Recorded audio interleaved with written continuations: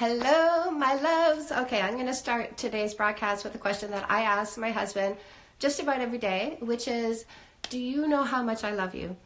Now, the answer is always so, so much. And the reason why I ask him this is because I know how much on a daily basis I just really wrap my life around him. I'm busy every day ghostwriting books for other coaches, coaching my own clients. Hello, Sushil. Nice to see you. Um, and on top of that, I dedicate myself to making sure my husband has everything he needs, all the food he needs. I feed him three times a day. He's like my, my little pet. I love, love, love him. And today I'm saying this to you because I am sick AF. I may or may not cough, clear my throat, and or blow my nose today because I might pass out. Who knows? But if I do, don't worry. Uh, I'm actually just off my husband's office, and he'll find me eventually when he gets hungry. Hi, you guys. Raven, Jules. Hello, hello, hello. So good to see you guys. Hi. So wonderful to see you. Uh, as always, any questions, let me know. Anything confusing you, let me know. Let me help you clarify whatever is on your mind. Love your hearts, love your love. Uh, and of course, I bring you a topic. I love that you guys are showing up lickety split today. I'm pretty sure you're happy to hear what I'm going to talk about. Um, but feel free to interrupt me at any time because I am here for you first and foremost, okay? So, with that in mind, what I brought to you today is the topic why you are getting ghosted online. When you're online dating and you reach out to people, you make a connection, you send them a message, they send you one back, you reply back to them, and then they go silent. Why are they doing that? Why are they ghosting? there we go. there it is. Why are they ghosting you? So, Jules, hello. Uh, you're looking energetic. I know. I don't know what it is, guys. Um, I am like, I'm happy to come here. Like, seriously, like I've been dizzy today, but forget it. I'm doing the hair, I'm doing the makeup, I'm putting on. Do you see the sparkly sweatshirt I got on today? Love, love, love it. Um, and it's just as soon as I get in front of you, it's like something turns on. There's this light inside of me, and I love seeing you here. I love seeing you show up. Love seeing you engage, love getting your questions, love giving you clarity. I just, I love this whole process. Uh, so, why are you getting ghosted online? And this, again, I always bring you the hot topic of the week, like what is happening, what's kind of coming at me very much with coaching clients or with people who are messaging me online. And so it's like really fresh in my mind. And I, I love just bringing this to you. Uh, wonderful topic that you've chosen. Yeah, this is a big one, and I see it happen a lot, which is why I wanted to talk to you about this today because I don't want you to get ghosted. And by the way, if you do get ghosted, come see me because I can give you the script that's going to open that door again. What happens is we miss the mark when it comes to communicating with people. We tend to sort of take our own mindsets and just dump it on the table in front of them, but we're not taking into account what's on their mind. We're not taking into account what their needs are. And there's one rule that I really stress over and over again when it comes to communicating with people online, because online is tricky, right? Like, it's one thing to catch somebody's attention, it's another thing entirely to reel them in.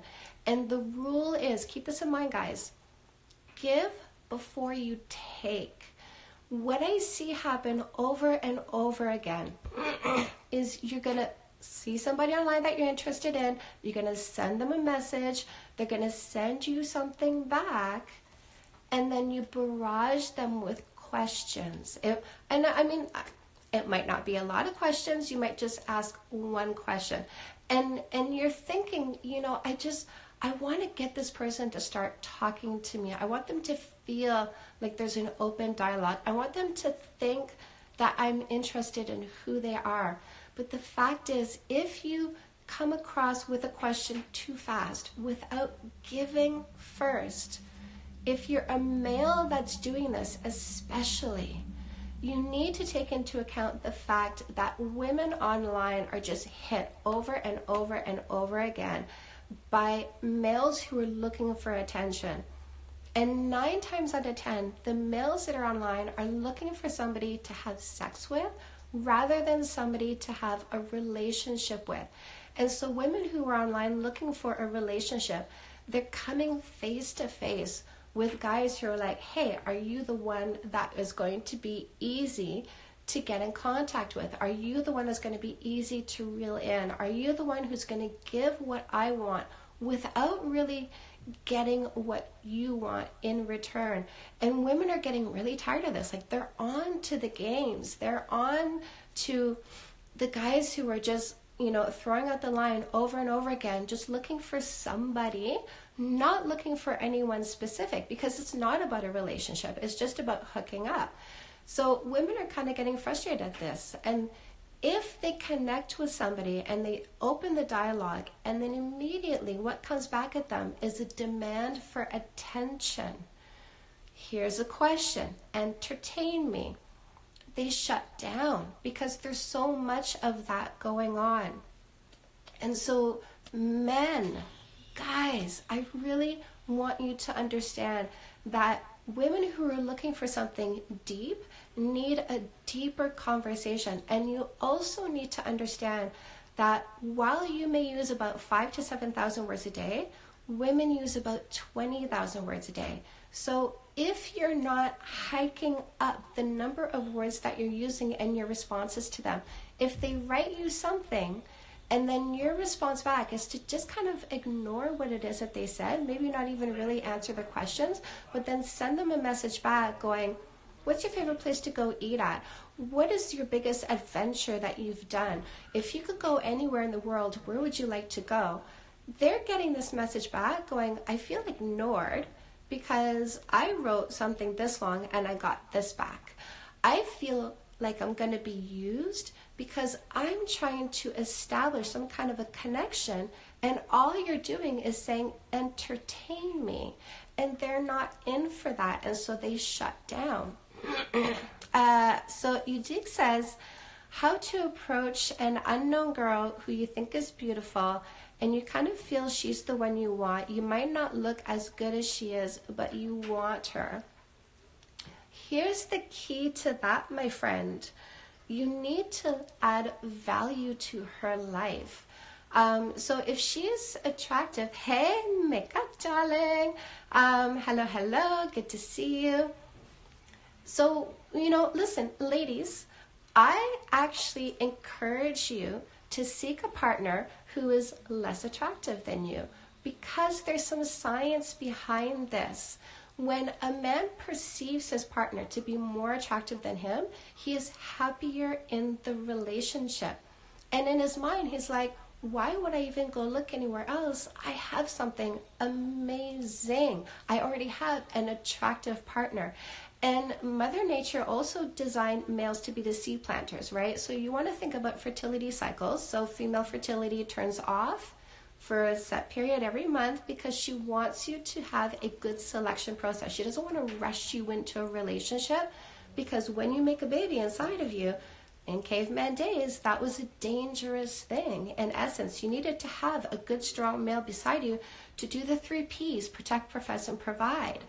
And so she made women supposedly to be good selectors. Ladies, don't forget that KISS tells you you know everything you need to know already, even if you don't. Male fertility cycle is on 24 7. So they're the seed planters. They're eager to go. So, ladies, if you choose a partner who is slightly less attractive than you, then his good to go is all about you because he's like, why would I look anywhere else? Because look what I have. But if a male partner, and guys, this is always generalities, of course, there's always exceptions to the rule. But a male partner who is generally more attractive than his female partner, that seed planting instinct that Mother Nature put into him, which is all about finding the strongest gene code. And the way that we subconsciously recognize a strong gene code is through the formation of our faces, symmetry. If your face is symmetrical, your gene code is symmetrical, and a symmetrical code in Mother Nature is a strong code. So that's how we subconsciously recognize strong gene codes is through attractiveness in someone's face. And so attractive males are really designed by Mother Nature to want to procreate, to want to go plant those seeds because Mother Nature wants every species to be built as strongly as possible so it can survive and adapt. That is just a natural fact of nature. So, listen, don't worry if you are less attractive than this woman. What you need to tell yourself is how can I give her value? What can I do for her? So, get to know her. Find out what she needs. Find out if she's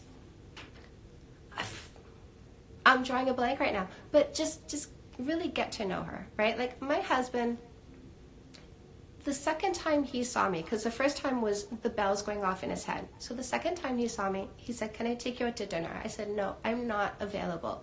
And he went, That's okay. I'm going to hang around. I'm going to find out what she needs. And when she asks me for something, I'm going to say yes. And he did that. And he brought value to my life. He helped me out. And because he was around and creating value, I really got to know him and I got to see the human being he is, and I fell in love with him.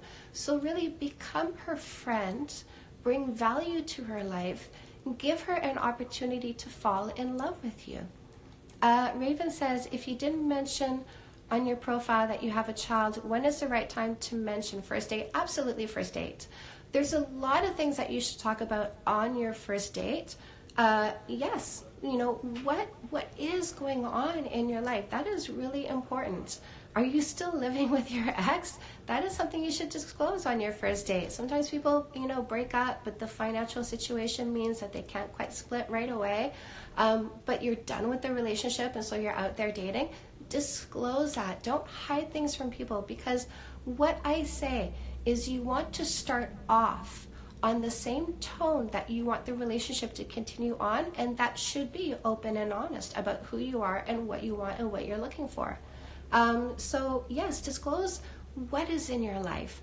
Disclose what your intent is. I'm looking for a relationship. I'm done my playtime. What about you? And if you think there's all this chemistry on that first date, also disclose that you're going to do a no kissing for three months rule so that you can set that date and let them know when you're ready for that first kiss. Um, so Udig says, imagine you're in a cafeteria. You kind of find this very attractive girl, one amongst many, but she's unknown to me. How shall I bring value to her? Here's the key you have to come up and start a conversation. You have to go up to her and say, Hey, I just wanted to let you know and then give her a compliment, make her laugh.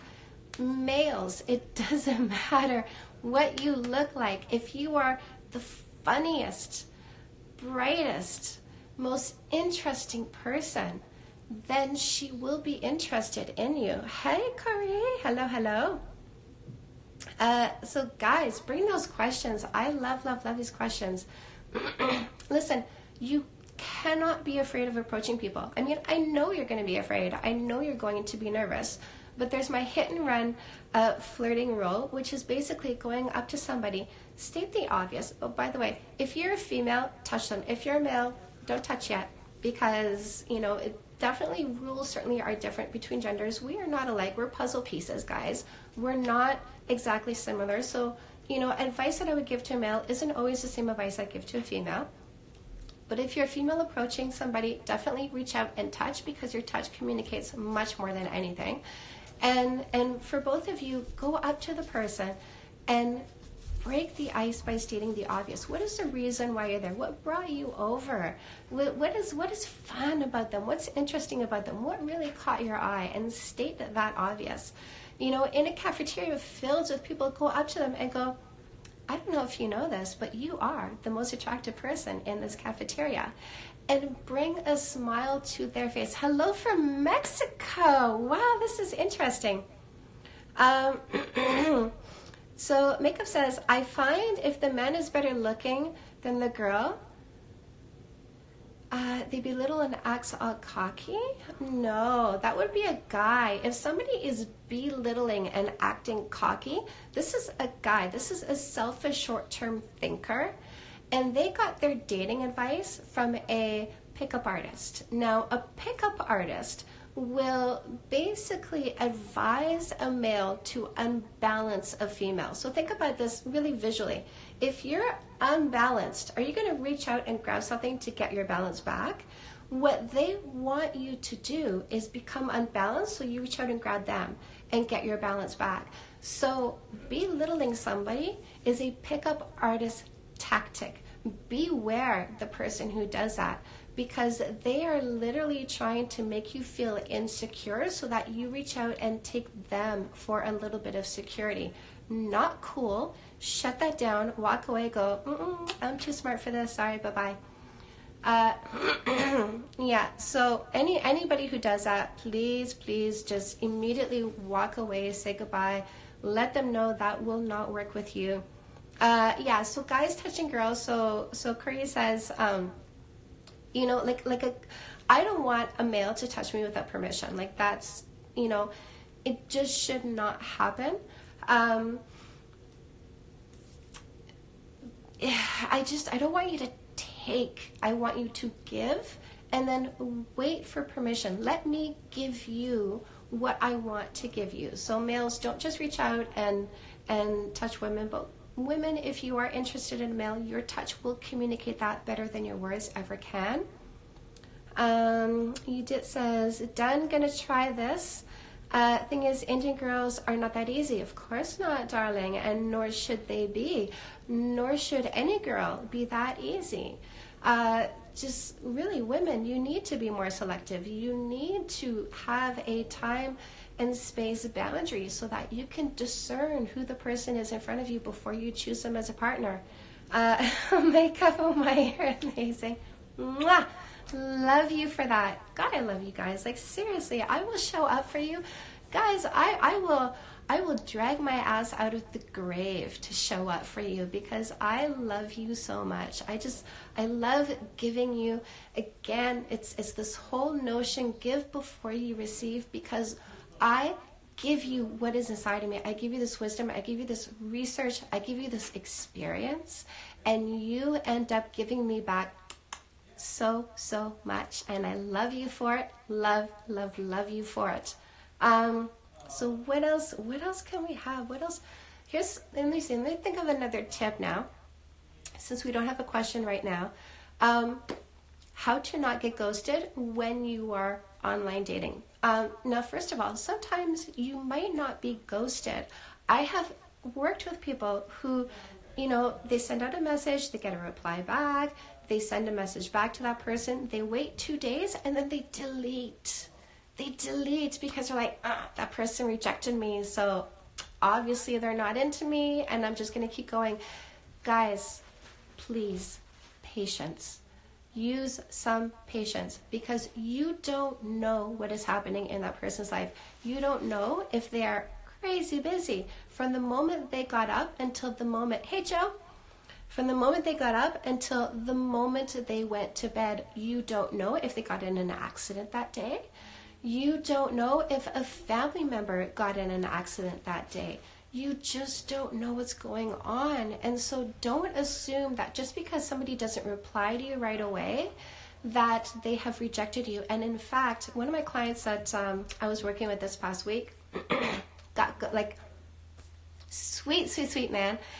And I have him reaching out to a lot of women, like at least 10, 15 women on a daily basis online and, and sending them like, you know, as, as my rule is, you read the profile, you write something that relates to what they put in their profile so that they understand that you're not just looking at faces looking for somebody to sleep with. You are reading their profile because you're looking for somebody to get in a relationship with. And so he's been doing this and he got four replies back and so he replied to these four women and they all ghosted him. Why? Because he came back with a demand for attention. He was not giving before looking to get something back. And so I understand why they ghosted because potentially they were like, uh, you know what, this is like, I'm not here to entertain, I'm here to get to know somebody. And I asked a question and it was ignored. I gave him the script for those four women to re engage the conversation. And one of them, so two out of the four wrote back, and one of them said, oh my God, I didn't realize that I did not press send on this last message. Maybe that was true. So be patient, give it some time, and then re engage, but in a more engaging way. Give. Read into what it is that they say about themselves.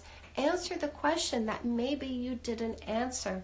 Or just, you know, say, as I had my client do, say, hey, I hope you're staying warm and cozy. And then give a little bit of information about their lives. Uh, so, Raven says, Does age matter? Mm-mm. I don't feel my age, but I'm attracting 10 plus younger males. Listen, age is but a number. I worked with a client this week. She was 33. The guy she was dating was 20 years old. I could not believe how mature, how dedicated, how focused he is. I mean, the guy is 20 and he's like, I'm done with the party scene because I'm going to university to be a doctor and I want to be fully plugged into my studies. So, age really does not matter. What matters is mindset, most importantly.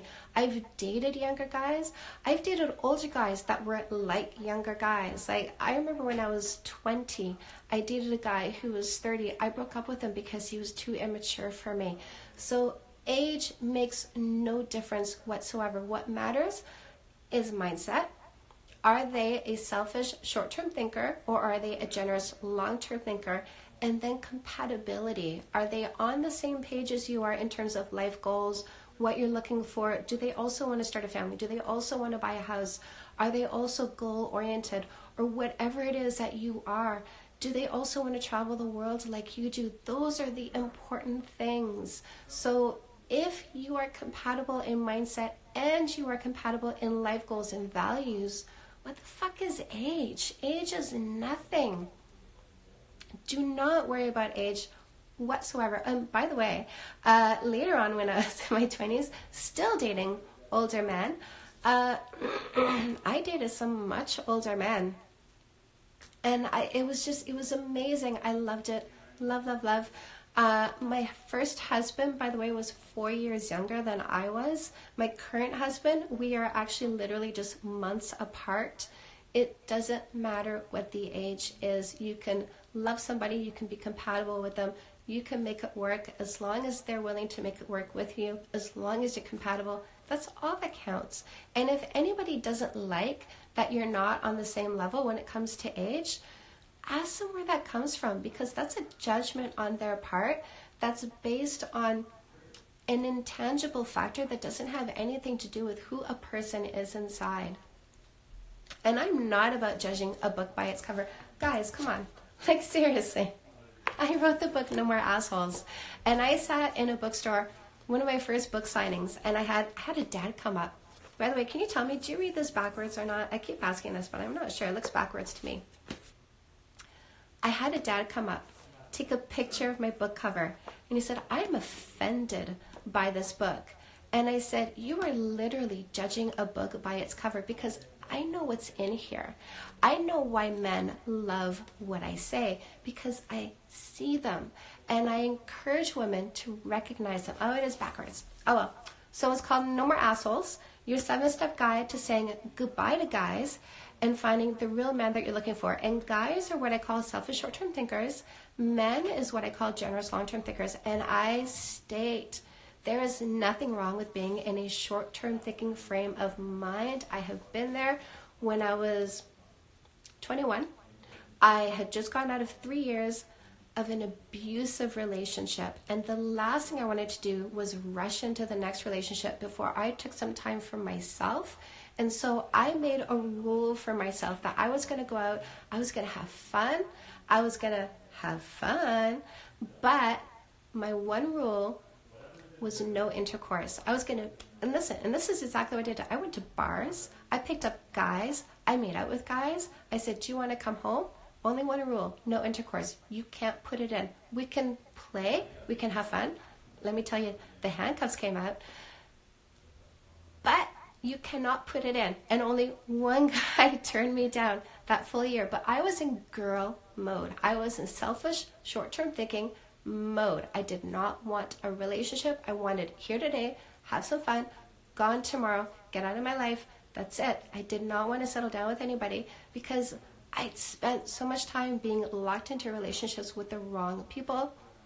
There's nothing wrong with just wanting to have fun. But when you want a relationship, you're looking for somebody to lean into, to dedicate yourself to, to be of service to. Like I am a service to my husband, my husband is of service to me, and that is a generous long term thinking state. And if you fall for somebody who is just having fun, this is when you say, Oh my God, they're such an asshole. They're not giving me what I want. They're not giving me what I need. What you want to need is a dedicated long term relationship. They're not there, just like I wasn't there when I was 21. And it's okay for somebody to not be there. What is not okay is to go fetch somebody in that mindset and try to drag them into where you are. You're not compatible. It's not going to work. You need to find the right mindset. I got some more comments here. yes, makeup. Go buy this book. Absolutely. You can get this on Amazon. Makeup says, I'm going to buy this book. Love you. You can buy it on Amazon, Barnes and Noble, Indigo. You can walk into a bookstore and say, Hey, I want to order this book, No More Assholes by Chantal Heide. They will order it in for you. I get bookstores all over the place all the time who order in my books to put on their shelves or they special order it for customers. You can walk into a chapters bookstore and say, Hey, I want to order this book. They will order the paperback for you. By the way, if you like e reader, just go download the e reader anywhere where you buy books online. I have made this so accessible and so easy to find. You can literally get it anywhere. Guys, I'm telling you, you can even find it on eBay. So go get this. This is a game changer. I get messages all the time. Um, if you check my Instagram feed, like I just posted another comment by somebody who said, I read this book, it's a game changer for me, it's changed my mind, it's changed how I'm approaching things. Um, Edic says it's the connection between two souls that matter. 100%, my friend. It should be always like two naked souls, mm, like me and my husband. Mm, me and my husband, guys, I'm so in love. We've been together for 14 years. I am so in love. Like, you can be in a relationship and love each other, and you can be in a relationship and be in love. And I am still infatuated with this man to this day. And by the way, we haven't had a fight in five years. I keep bragging about that because, frankly, I think it's a great bragging point. My book, Fix That Shit, which is this one right here, backwards again. Uh, so, Fix That Shit, a couple's guide to getting past the sticky stuff. Um, this is once you get in a relationship, well, first of all, get through the insecurity phase. Uh, after the first kiss, how to make your first year uh, ridiculously awesome is going to get you through the insecurity phase, which happens shortly after you commit to somebody. So you have the courtship phase. And then once you've gone through the courtship phase, you've invested all this emotion. Like, oh, I don't want to lose this person. We tend to like kind of go a little bit crazy. So this book, after the first, gets you through that. But then you really fall into each other, and the baggage starts coming up. So fix that shit. Oh my god did we ever have baggage? Like my husband and I, we fought steady for 10 years. I finally learned how to fix that shit. I was fixing that shit while I was writing Fix That Shit, guys. Holy cow. But we haven't had a fight in five years. And I am, like, this morning looking at my husband going, uh because he is just, like, love does that. By the way, um, this imbalance of attraction that I talked about earlier, finding a partner that's less attractive than you doesn't mean they stay in your in your vision, in your mind less attractive than you. When you fall in love with somebody, your vision changes and they become the sexiest person, the most attractive person. Like my husband, he's he's no Robert Downey Jr. or whoever. I don't know. I got a crush on Robert Downey Jr. Listen, he's not quote unquote the most attractive man in the world, but he definitely is the most attractive man in the world. There is no man more attractive than my husband. Sorry. Um, so, yes. So, in a nutshell, you dig again. Age is just a number. Relationship is just a tag at the end of the connection. It's the connection that matters. Yes, my friend. Uh, Carissa says, Chantal, when I was online dating, I had tons of guys approaching me who were in their 20s. I'm in my 50s. I couldn't take them seriously. No, my love. Of course not. And chances are they were just out there fishing to see who they could have sex with. Um, there will be, of course, the odd person in their 20s who is definitely looking for a relationship. Um, and frankly, if you're in your 50s and there is somebody who is looking for a relationship and you don't have a hang up about numbers, I give you permission, my love. Pursue that because that could be a wonderful soulmate connection. It could be the one you're looking for who will make all your dreams come true, who is dedicated and responsible and steady as hell and who just wants to love you and be of service to you each and every day, just like my husband and I are to each other. Oh, hello, Sarah. Hello, Abis. Hello, hello, hello. Uh, Kathy, hello. Nice to see you. As always, you guys, you have any questions, you have any comments, please dish them on me because I love answering you.